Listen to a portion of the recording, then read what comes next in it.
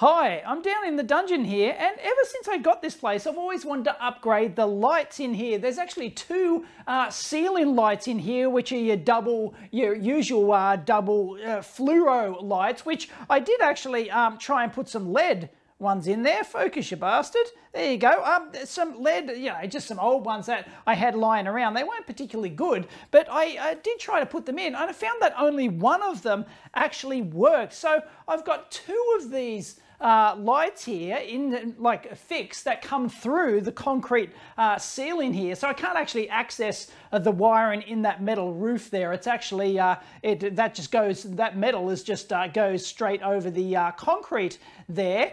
And um, yeah, I've always found it curious that only one of them worked, but also I, I did know that there was a sensor light thing in here. Here it is here, a sensor light uh, thing from a company called uh, Plugwise, and they were like sensor lights. And I was told when I bought the place that, um, yeah, it did have like sensor lights in here or something. So I figured that's got something uh, to do with it. So anyway, let's take a look at it because I, I got these things down just expecting to find a regular, like just your regular, you know, uh, ground uh, lights and like neutral, active and earth uh, basically coming through, but I'm not. I've got this, uh, looks like there's some sort of uh, wireless receiver dongle here. And also there's multiple, you can see those white wires there, and they're actually uh, coming through. And I have absolutely no idea how this system works. So I thought I'd take a look at it.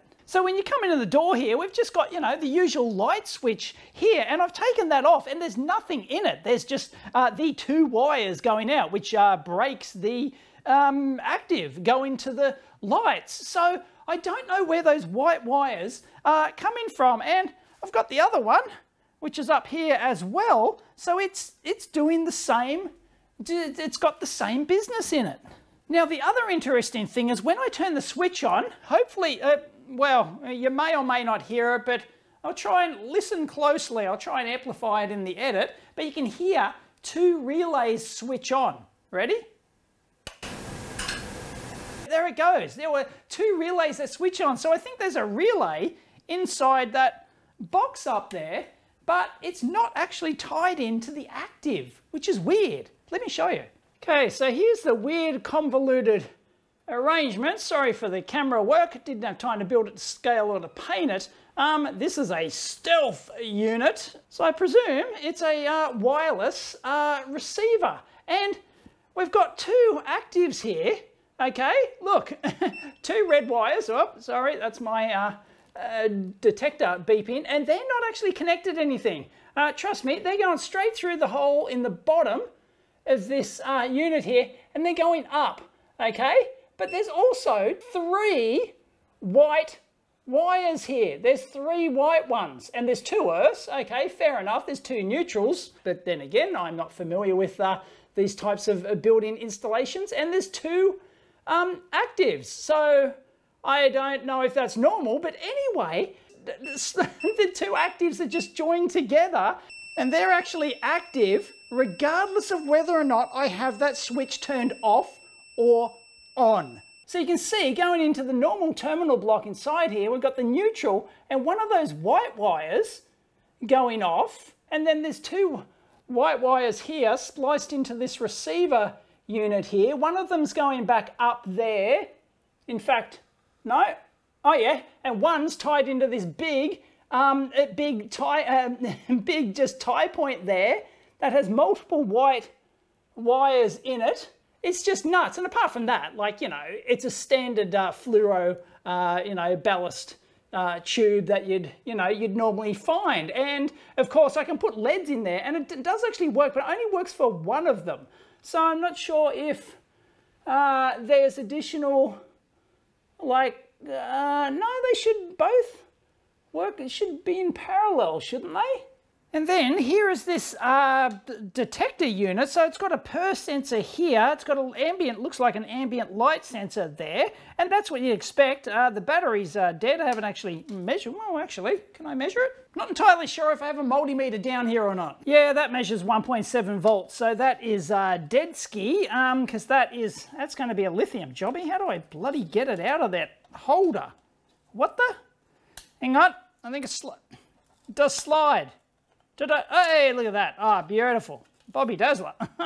it's actually really good. Aha, there you go, 3.6 volt lithium jobby. Um, yeah, okay, so that's no good. Obviously, that was never going to work. So, yeah, it's obviously some sort of like wireless uh, thing. Well, that's fine and dandy. Okay, great. But that doesn't explain, like, is there like another control box somewhere that uh, like, what, what are those white wires? There's three white wires going to each one of these uh, light troughs. And if you're wondering how I actually get light in here without the lights being on, um, I do actually have some of my old uh, lab panels on the uh, walls up there. So there you go. There, to, I mean, the contrast is absolutely horrible, but it lights it up okay. But I want uh, better like main lights in here because they're, they're actually running off the uh, power point. They're not running on the uh, light circuit. And unfortunately, I can't just go and turn the light circuit off at the fuse box because I'd have to go turn off the entire underground car park, I believe. So, like, I can switch off the mains, and like the power coming into here for the power points, um, but I can't do it for the lights. So, to work safely on this thing, um, I, I can't really do it. I can't disconnect it. Look, if you follow the light circuit up, right, it just goes straight through the concrete up there, right, through this concrete, penetrator here. And uh, same with the power. The power actually uh, comes in over here um, as well. So, so I have no idea where these white, um, white, three white wires are coming from. They're being pulled off. are they a standard thing in a building installation like this? Aha, well, there's a pro tip for you. Don't rely on your crusty memory. Um, there's a red wire coming in and there's a white, well, a crusty old cream colored wire coming out. Um, so yeah, I thought my memory was that there were two red wires in there, though I should have double checked. So I was going to presume that those two red wires there that I was uh, probing before, um, they're they would, I, I guess that there's going to be an additional circuit there which my guess would be that it's the power points. I don't know. I have no idea about building installations like this, but that'd be my guess is that they have like a supplementary what, or maybe it's an always on power for some emergency lighting thing or something perhaps. But what I'm going to go, oh, what I could do is I could actually switch off all of the power to this unit because I can't switch off the lights. Uh, to switch off the lights to this unit, I have to actually uh, switch off the whole car park, I believe, at the uh, fuse box. So yeah, that's not going to work unless nobody's here on the weekend. But I can switch off just the power points to here. So I could try and do that. But anyway, what I'm going to do is I'm going to go back up and probe again and um, probe the white wire. But why there's three white wires in each one? I'd expect two like one going in and then another one going out to the other light perhaps, but each one of these troughs has three white wires in it.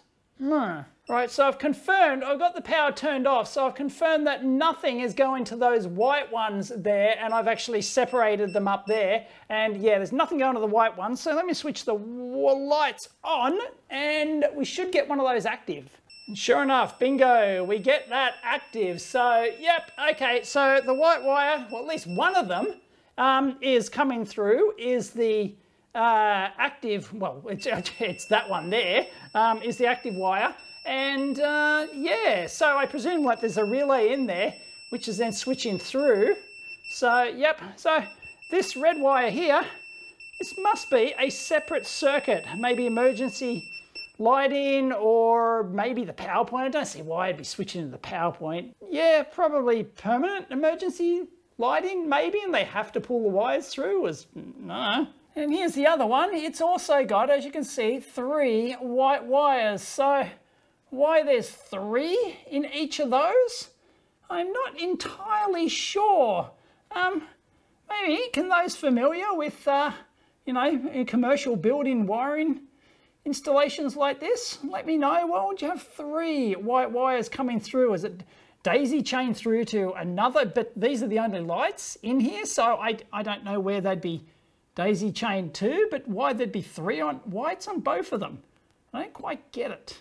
Actually, right at this moment, I can't, I've got stuff running in here that I do not want to uh, switch off. So I'm not going to do the test for those red wires where I switch off the GPO. Like I said, I think it's more likely that they're actually some sort of permanent emergency lighting power uh, would be my guess. So yeah, anyway, so I'm not going to test that, but I don't really care because um, they're just separate. So uh, install a different light, it doesn't uh, matter. Those uh, wires just, yeah, you just keep them uh, taped together and, well, something's beeping. What's beeping? Here. Oh, that was my meter. Anyway, um, yeah, so it looks like those whites are daisy chained through for some reason, but where they go, in addition to this, there is a unit next door to mine, but where we've got independent uh, lighting and independent power, so don't understand that. Yeah, like I said, I don't even have, as far as I'm aware, I don't even have a separate lighting circuit in the fuse box for my unit. I believe it's wired into the